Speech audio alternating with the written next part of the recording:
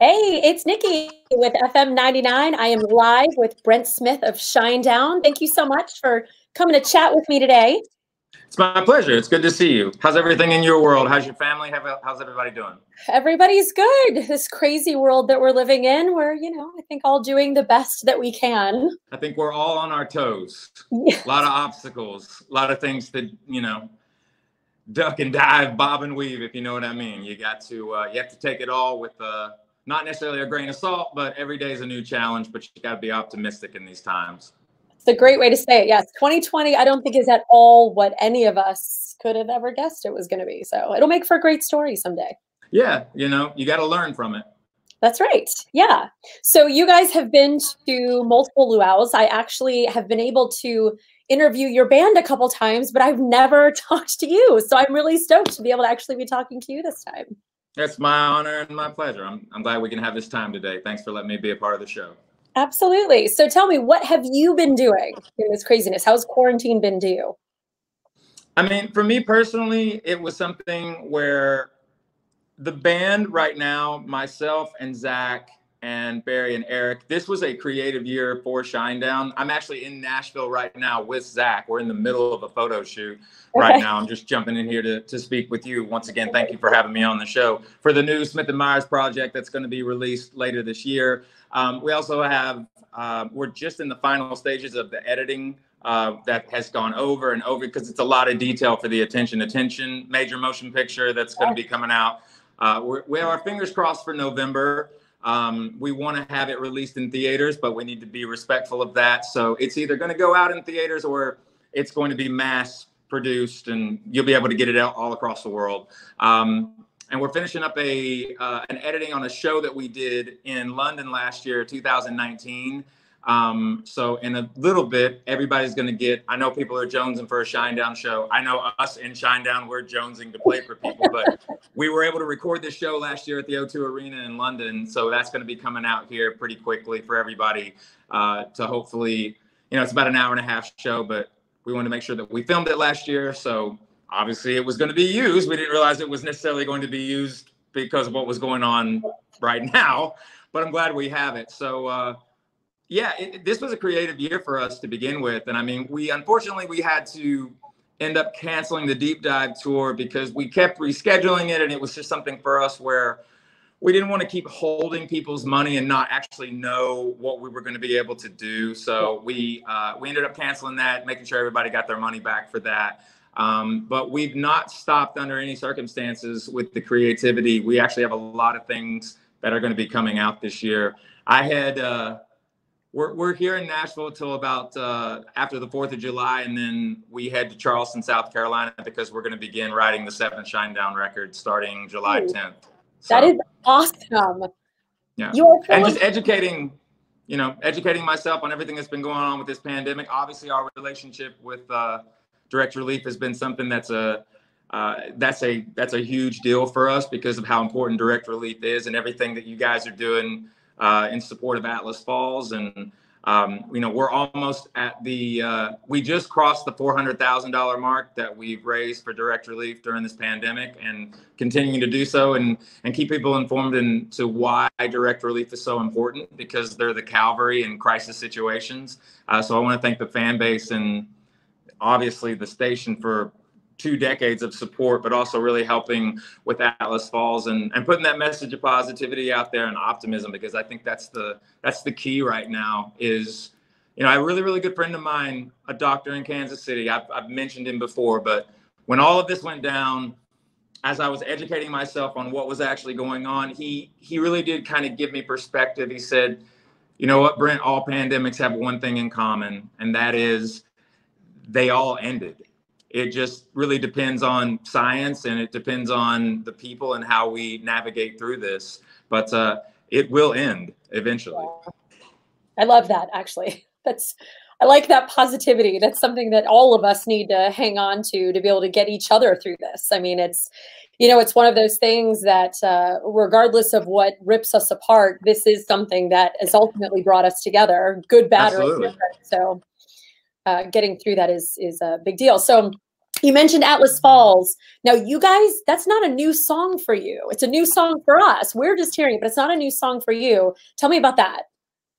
So the song um, during the the writing process for the album, our fourth record, Amaryllis, we're known for when we're in the studio, we'll write a lot of songs, but we don't really demo songs. And what I mean by that is we don't like write a song and then just kind of do a, a scratch vocal and like an acoustic or just lay down a couple of parts and just to get the idea and then move to the next song. We, once the song's written, we record it like it's for real, like it's going on an album. Yeah. And um, it also keeps us in check in the band to really push the envelope on each and every song.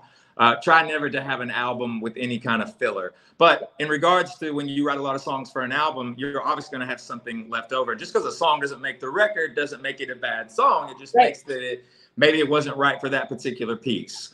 Um, Atlas was written towards the, the back half of the writing process for for Amaryllis for that album cycle. Yeah. Um, and for whatever reason, I really don't remember why it actually didn't make the record. I think it was more that we felt like we had enough. Yep. Um, and so, but I always had a kinship to that song. And I always felt like it would see the light of day eventually. I didn't necessarily know that it was going to be to this magnitude. Um, but yeah, the song was written eight years ago. And it's interesting too because people have said, "Well, when did you get time to like go into the studio and you know kind of make it sound more like 2020?" And obviously, you had to have changed some of the lyrics because you wrote from what's going on now. And I said, yep. "No, the song is the song you hear today is the same song it was eight years ago." So, um, but that whole message of that song is about perseverance. It's about um, it's about coming together and finding the optimism in some of the most chaotic and devastating situations and understanding that you're not alone and you should be able to depend on your fellow, you know, brother and sister, um, you know, man, woman, and child. You know, I don't mean to be so like, I mean, the way that I see that song, because the premise of that song is about the God of endurance who was Atlas. And Atlas was a young man uh, who had kind of like piss and vinegar in him, and he kind of challenged the Titans, and he lost. And so Zeus needed to. Uh, Zeus needed to, I think, teach him a lesson in some ways of humility. So he placed the weight of the world on his shoulders, you know. And the question in the song was, well, what if Atlas was to fall? Who would help Atlas? And that's where we come in. You know, we have to lift each other up. And that's really the basis of the song. And I think why it's extremely relevant um, in this day and age, especially now. It absolutely is. I mean, when I heard the song, I couldn't believe that it was written when you guys were doing Amaryllis because, like it, like you said, you've heard it's so fitting. I mean, just with everything that's happening in the world right now, it's so fitting. Um, so, Direct Relief, uh, what made you choose them? Is that somebody that you had worked with previously, or did you go looking for somebody? Like, kind of, how did that work? It was very natural, actually. Um, it was that first weekend. Me and Zach were we're obviously we're working on a double Smith and Myers record right now, and uh, we were in California. We were in the midst. We had finished 17 of the 20 songs. Zach was getting ready to go back to Memphis for like a couple of weeks and then come back to California so we could finish the the the last three, and the pandemic happened.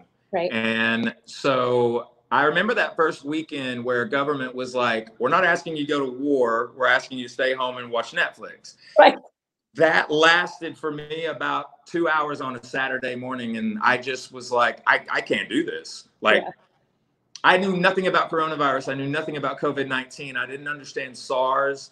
I um trying to educate myself on. I didn't understand what a pandemic was. I had never heard the term social distancing.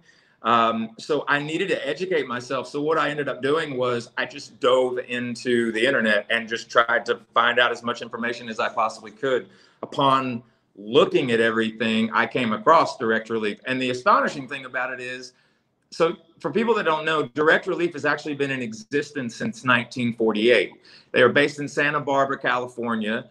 Their sole mission and their mission statement is they are there to aid the people that are the professionals on the ground during times of crisis, whether it's a poverty, whether it's a natural disaster, a pandemic, anything of that nature. And they're the Calvary. So their goal is to get all the requirements and all the necessary things that these professional men and women in the scientific and the medical community need on the ground so that they can right. save as many lives as possible. And so they were massively instrumental in the beginning of this uh, pandemic, and they're still very, very, um, they're very necessary and very important because yeah. they were here before COVID 19. They'll be here after COVID 19. Yeah. And, you know, it doesn't, they have no political agenda. They are completely non biased. It's just about saving as many lives as possible during times of crisis. So we reached out to them and, uh, gave them the idea of what we wanted to do with the t-shirt and the release of the song at the time the song could only be downloaded if you were to buy the shirt. It five dollars to make the Atlas Falls shirt. The rest of the proceeds go to direct relief. So even now, you can go to shinedown.com. If you see the Atlas Falls shirt, you can click on it. If you buy the shirt, 100% of those proceeds will forever, by the way, go from that shirt. All the money that's ever raised, as long as the shirt is in existence, will always go to direct relief. And um, because of wonderful people like yourselves um, and Shinedown Nation, you know, we've, we've recently crossed the $400,000 mark that we've raised. And uh, it's just going to continue to go and hopefully, uh, you know, spread more awareness of why direct relief is so important in times like these. Absolutely. Yeah. I, I, I mean, I'm embarrassed to say that I hadn't heard of them, you know, before this. Well, neither had I. You have no reason to feel embarrassed. I hadn't heard of them either. I, I, came across them. One of the reasons I came across them too, I believe, was that um, I had noticed an article in Forbes magazine actually about them because they have like the highest level of, um, and I, would have to get more detail in how they they break this down. But if you go to directrelief.com, which directrelief.org actually is how you look it up, they do running time like right this minute. They show you minute by minute where they are sending PPE to, where it's going, how much of it's going, how much money they've raised, how much money is going back into these communities, into these countries. Because that's something else about them that's extraordinary. They work with all 50 states in the US, but they work with over 100 countries. Amazing. And it's pretty, it's pretty astonishing. Yeah. Um, and uh, they're just very, very important. I can't help but think that you know that first phone call, like, "Hey, Brent Smith from Shinedown." They're like, "Right." it was a little unique. It uh, what we ended up doing was so one of our day-to-day managers um, at InDeGoot Entertainment, um, because we have been managed by Bill McGathy and McGathy Promotions our entire career, two decades now, and we've also been with the same record company, Atlantic Records, for over two decades. And both Atlantic Records and InDeGoot, they were massively instrumental in helping us do this also with Direct Relief. Um, and yeah, it really was a phone call from management first. They needed to kind of do some background checks and see because they weren't really aware of the band. And so when they went in and they looked, we have a wonderful liaison there that we work with. His name is Samir. He's kind of our point person there at Direct Relief. And um, we just told them what we wanted to do and how we wanted to do it, and uh, we created a legitimate partnership with them that's going to, you know, be a partnership for uh, for life because um, they're just such a wonderful organization and they help so many many people. Um, so you know, any acknowledgement that we could bring to them uh, to the rest of the world and help kind of spread the word of how important this organization is we were down to do it. And we work with a lot of charities. We work with the Red Cross, we work with St. Jude's, we work with, you know, the United Way, we work with Goodwill, yeah. we work with Salvation Army, um, a lot of different charities. Um, but for this particular situation that we were in, you know, they were the one that, you know, they really raised their hand as, you know, this organization is really getting the people on the front line what they need, the professionals, yeah. so that they can save as many lives as possible. Yeah, it's phenomenal. I mean, what a great charity. So I've got to yeah, ask they're awesome. the Atlas Falls, did you guys like just hop on a call and say now's the time? You know, how did that happen? You know, where where you decided like Atlas Falls needs to come out of the vault? I pretty much knew pretty instantaneously. Like once I found direct relief, the song like popped into my head. Um, once again, you know, I always had a kinship with that song, and I was always like, eventually the song will be heard. Um, and I just remembered the lyrical content. I remembered the essence of the song, and mm-hmm. I felt like that it would be. Um, I felt like it would be a strong symbol of optimism and and um, not defiance, but the uh, something that could support the human spirit. You know, I've said this before. Like you know, music is such a powerful part of our lives and our existence, especially when you talk about songs. I mean, the wonderful thing about that art form is that a song can be whatever you need it to be at that place and time in yeah. your life, and it can evolve to yeah. you and what it means to you. And I just felt like it was a song that um, I remember when we wrote it, how it made me feel and I just wanted to try to hopefully put some of that out into the world because there was just a ton of negativity in the in the beginning of all of this. There's still negativity, but the fact is is that um, you know if we unite, really unite with each other, I don't think that there's anything that we can achieve as a species, okay. um, as you know, as human beings um, because I think that human beings we're at our best when we need each other, and I think that's really the symbolism of the song more than anything. It's just we are at our best when we need one another. Yes, and we need one another right now. Very much. For sure. Yeah. So you already mentioned. So you've got the Smith and Myers album. It's a double album, right? Double Coming. album. 10, yeah. 10 covers. Ten covers that were picked by the audience and expressed to us by the audience. Love um, it. But for the very, very first time, 10 completely original songs. Okay. And so that's it's a release date? I can't give it to you yet. okay. I can tell you this: it's it's it's soon. Okay, good. All right. It's soon. Good. Yeah. Because we, you know, new music is we, we need it. Let's just say you'll know what's happening this month. Okay. I. You'll, I you're you're gonna you'll you'll have it all laid out this month. Okay, fair enough. I'll take that. I won't push any harder. I'll take that. That's awesome. So you've got the movie yep. coming out hopefully in November. Well, will come out just whether it's in theaters yeah. or um, then the the London show. Yep. Um, other than that, you've got nothing going on. and then we're um, gonna write the, we're gonna write Shinedown Seven. Right. So that's what I'm saying. So so working on uh, on new Shinedown music also, which yep. is amazing. Yep. Um, now the deep dive tour. Obviously, you had to cancel are we do we have are we trying to reschedule for 2021 or is it kind of like a wait and see type thing right now?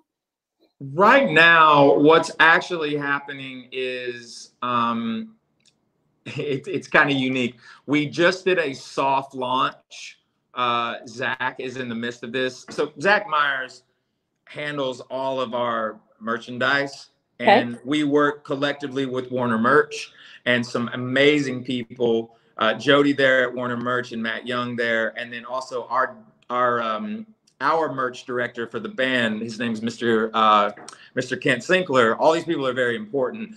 Okay. We have they they've just gone in and the line that we're getting ready to release here in a moment is it's it's pretty out of this world from the merchandise side okay. of things. But we made all the deep dive merch already for the so, but we have no tour, but we have the merch. So we're like, we're just gonna release the merch because eventually we will do the tour. but we're like, yeah, just give them the merch now. So they'll have their merch ready when we do the tour.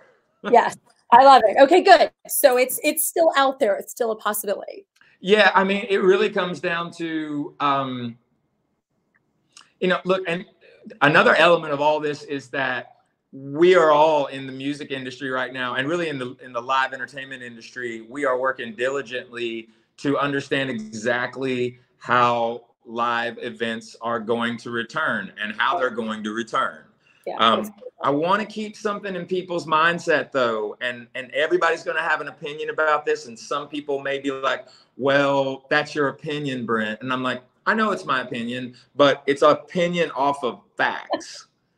and the reality yeah. is that I know that if you look at mainstream media right now, they focus on two elements of the case studies of COVID 19 the amount of cases and the death. You are never shown in any mainstream media the recovery rates. And even when the surges happen, they don't tell you, like, yes, you may have had these surges, But that doesn't mean all of those people are hospitalized. That doesn't mean right. all those people have died. It means that, right. yes, we've had more positive cases. Positive. But if, right. if you go back three months ago, it was a lot of conversations about we need more testing, we need more testing, we need more testing. Well, now I'm reading articles where people are saying things like, you know, maybe America has too many tests now. So I'm like, you can't do this seesaw thing much longer because there's got to be a level of leadership that brings us to the other side of this. And I'm going to tell people right now, and I am very outspoken about this because I want people to be educated. You got to hunt for some of this. Yeah. Um, I think as of today, it's roughly 11 million cases worldwide. I think we unfortunately have crossed. Now, this is worldwide. I'm not talking about just America, I'm talking about yes. globally. Yes. Worldwide, we're at about 11 million cases, over right around 505,000 deaths. Mm-hmm. Um, but you're also at almost 6 million recoveries. Right. Huge they, number. Please, please, please, if you don't take anything from this, from what I'm saying here, educate yourself on the big picture. Yes. That's something that really needs to be expressed to people. It's a virus but it's not the first virus in human history. Right. You know what I mean? And yeah. that's something that I think it gets overlooked. Even today, there was, I think that it was, uh, if I recall right this morning from the Mayo Clinic. Now, obviously, if you're 65 and older, right, whole different ballgame. But if you have a pre existing condition, or you have something of the mindset that it's something that you know you have to be careful with anyway.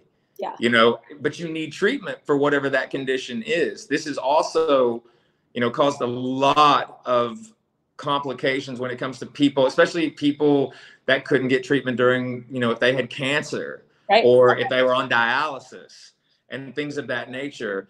But one thing that I finally am seeing the mainstream media do, which is something that I tried to do very early on when I was talking about this, was you have the power to change your diet if you're not healthy right now. You have the power to start a workout program. Even if you've never worked out in your life, it's not like you're going to start on a Monday and by the Sunday you're going to be able to do a decathlon. Okay? like but just the actual steps of going out and getting your diet better you know read up about it you know start an exercise program. If you don't take a you know take a multivitamin. You know one of the things sure. that will help your immune system drastically and, and efficiently will help you is vitamin d. And i'm not a doctor and you need to get your blood tested. You need to go to your doctor and, and do a physical. But as of this morning from the mayo clinic it, it plainly said if you are in good health and you take care of yourself, um, if you were to contract the virus, they put it at a 98% recovery rate.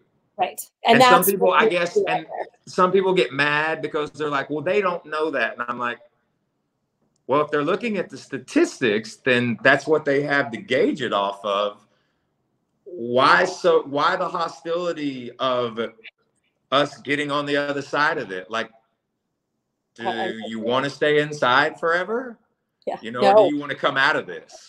yes, please. All right, I've got some um, some questions and comments, if you don't mind. Yeah, man, let me have it. Um, okay, so um, well, let's see. Ann Miller, hey Brent, do you remember me from Lunatic Luau last year? I brought you birthday cake Oreos. You know what? I quite frequently people bring me birthday cake double stuffed Oreos because it's my favorite like dessert. Okay. Um, and I am gonna say yes, I do remember her. Everybody that brings me birthday cake Oreos, they're forever still trapped. Well, there you go. They're in, they're in, here and they're in my heart forever. You bring me birthday cake Oreos, you're in there. uh, okay, so you've got 15 number ones on the mainstream rock chart, which is the most tied with Three Days Grace. What does that accomplishment mean for the band? It's interesting because it's it's 15 on Billboard, but it's 16 on Mediabase, tied both with our boys in Three Days Grace. Okay. Um, it. I mean, it should be an easy question to answer. I'm. I just. Uh, I'm still astonished by it. I. I just. I. I really am. I mean, technically Atlas Falls is the 27th single we've released as a band. Amazing. And um, our entire existence is because of our fan base. Our entire existence is because of the audience. I've said this and I've, I've said it more than once because it holds true. Uh, everybody in Shinedown, we have one boss. It just happens to be everyone in the audience. yes. So um, it's an honor. It really is. It's uh, we we take it very very seriously, and we're very humbled by it. Um, but we also want to give a lot of credit to terrestrial radio because we know that there's different DSPs now, and you know you have different ways of streaming music and what have you. But terrestrial radio has been there for this band from day one, and um, we will always keep our fist in the air for for all of you you know guys and girls. But uh, yeah we got to give a lot of respect to terrestrial radio because they're one of the, the big reasons we've had you know a two two decade career in this. And uh, we're not slowing down. Yes please don't okay what is the most memorable connection you've made when it comes to fans of your music oh my gosh other than um, Oreos. you know I, i'll never I'll I'll never take it lightly. Um, and I and I, I know how to take a compliment. I used to in the beginning kind of be aw shucks about everything, and you would find like when somebody would compliment me that I just it was almost like I couldn't handle it.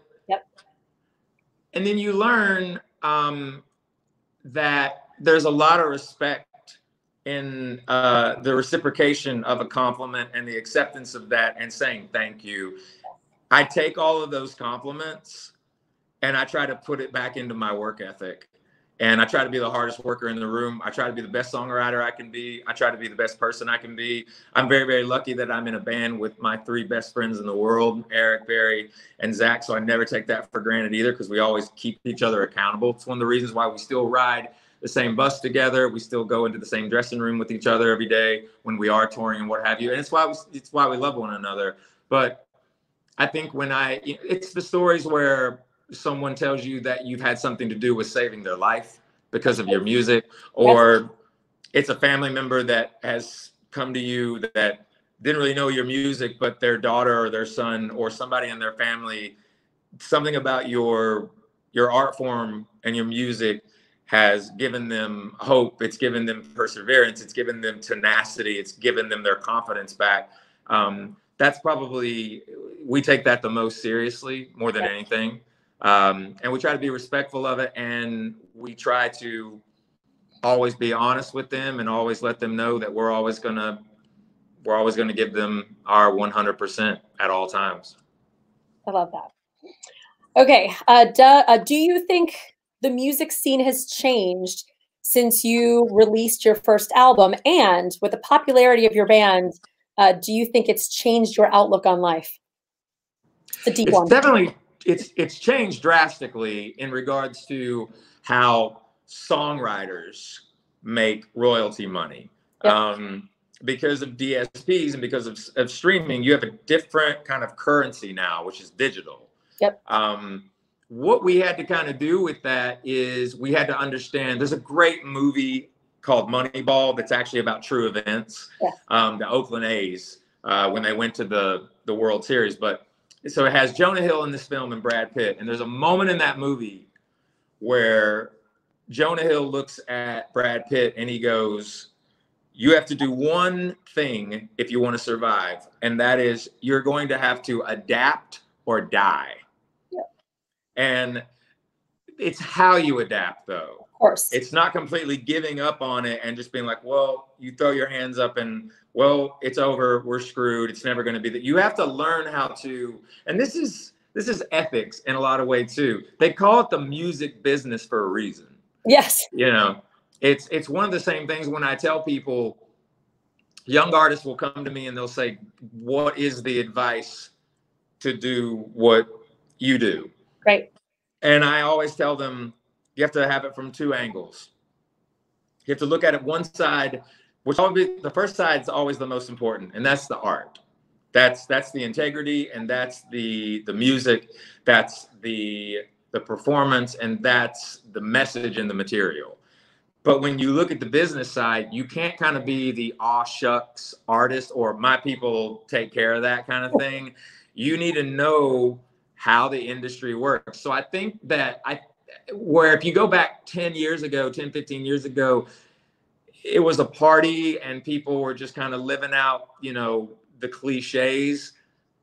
But the guys and girls that caught it early enough to understand that it was changing and that you really needed to be educated on the financial side of things, percentage sides of things, these new ways of listening to music started to just kind of come into the fold. Oh, yeah. And a lot of people were like, that's not going to work. It's never going to happen.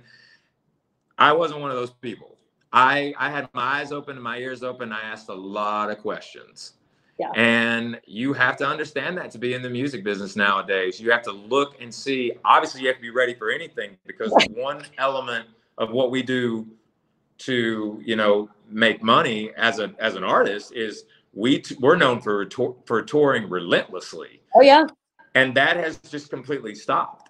So you have to know how to navigate. You have to know how to adapt. Absolutely. Yes, which you guys have done clearly, beautifully.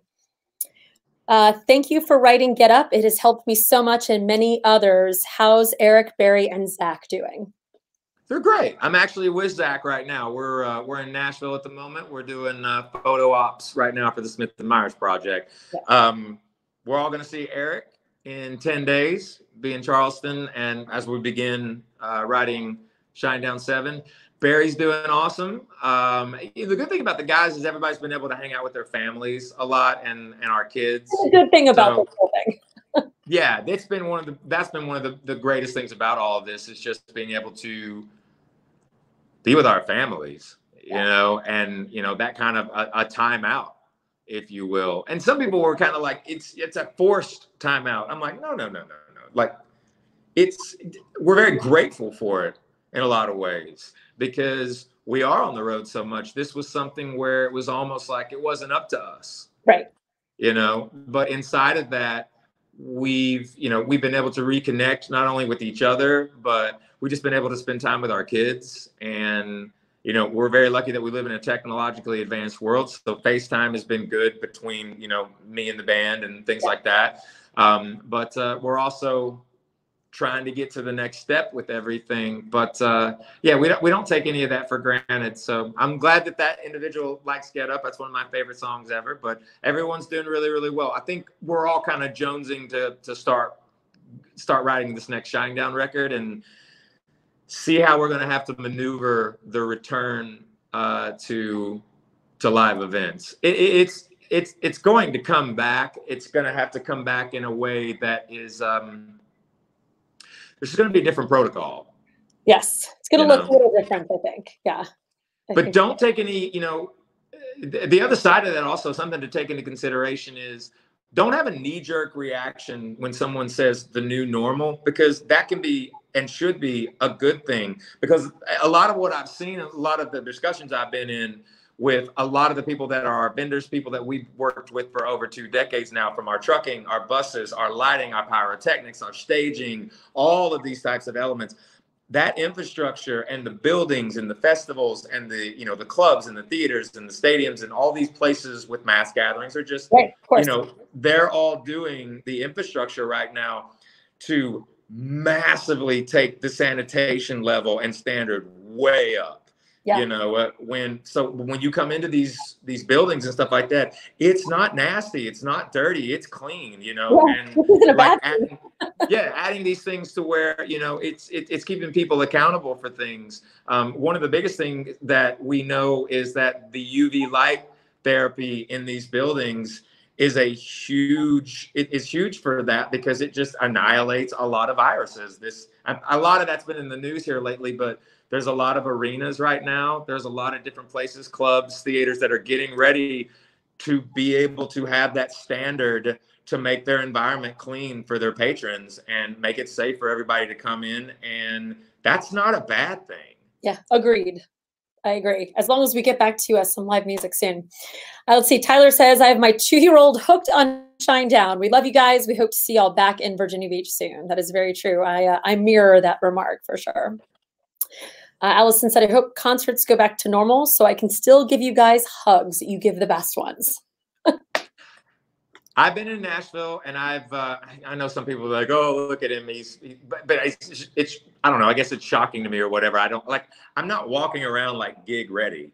You know what I mean? Like, look at I'm I'm like I'm like wearing a dad shirt. You know, it's just I'm not like walking out like with what I wear on stage. You know yeah. what I mean? But I've been recognized more today and yesterday. You know, I've been out more and what have you. But it's so funny. There's a, the, everybody that's in the last few days that I've been in Nashville, that they've seen me and they're like, "Are you?" And I'm like, "I am." And they're like, "Can I please hug you?" And I'm like, "Yeah."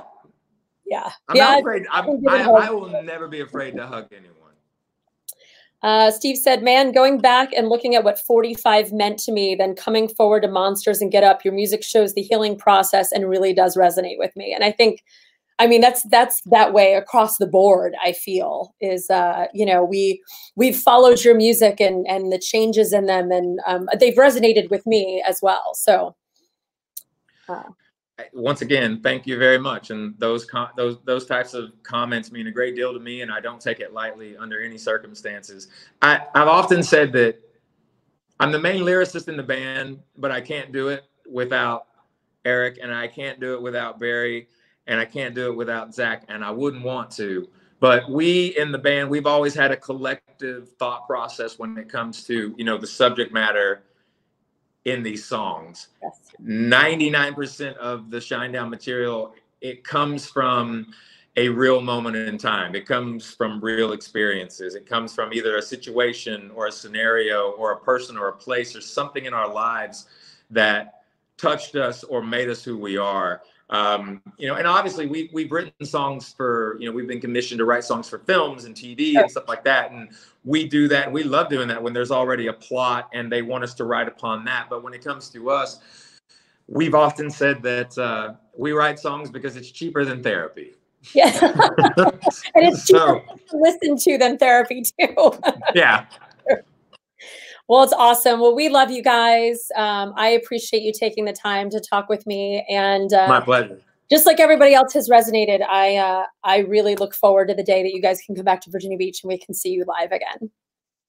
I, I want I want everybody to know that it, it is going to happen. It it may uh, it may take a moment. Um, it will obviously take certain people a little longer to feel comfortable, but I make you a very real and solemn promise the number one thing, and we were always doing this before this pandemic happened. Um, but I want to rest everyone assured from us to our fan base, whether you've been there from the beginning or you're just finding out who we are, when it is time and we can be with each other again, your safety will always be the number one priority. Not only your physical safety, but your health your mental health, all these environments. Like we've always tried to, if you walked into a Shinedown show, we want to have you float out. Yes. If you know what I mean. Oh yeah. Um, but we will we, we will never ever sacrifice and we will never cut corners when it comes to the public safety of our audience no matter what country we're playing no matter what tour we're on so please be rest assured we would never put you in a dangerous environment like that we will be with each other again um, it may take a little bit of time uh, but always know that we always have your your safety as our number one priority. Well, I personally can't wait. So Neither good luck for projects, and uh, I look forward to seeing them all come into fruition soon. Absolutely. Thank you so much to, to, to, not only giving me this time today, but to all the fans that ask questions and just to the radio and all the support. Your family to us, you have been for two decades now. One of the stations that is, you know, goes all the way back to the very first single, Fly from the Inside. And, uh, you know, that's two decades worth of music to, to right now. And here's to another two decades, three decades, as long as we can keep doing it. So thank you very much for all your support. Absolutely. Thank you. It's awesome. It's our pleasure. All right. We appreciate you. Brent right, Smith, so Later, guys and girls. Bye.